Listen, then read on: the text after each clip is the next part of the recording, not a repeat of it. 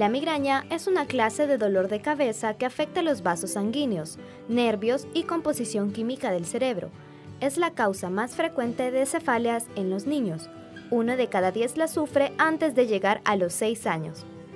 La crisis de migraña en los niños es un poco diferente que en los adultos, ya que el dolor dura menos y suele ser frontal y bilateral. Se manifiesta con malestar en el sistema digestivo, como náuseas y dolores abdominales, al igual que la sensibilidad al ruido, la luz y los olores.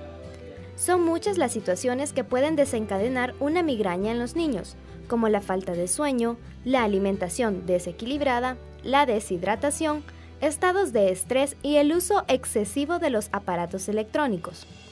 Al mismo tiempo, se considera que el 10% de los dolores de cabeza están provocados por otros trastornos médicos como infecciones del oído, las gripes e infecciones en las vías urinarias.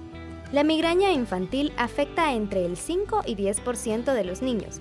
Es por eso que este día en Salud TV con nuestros especialistas estaremos hablando sobre este interesante tema. Acompáñenos.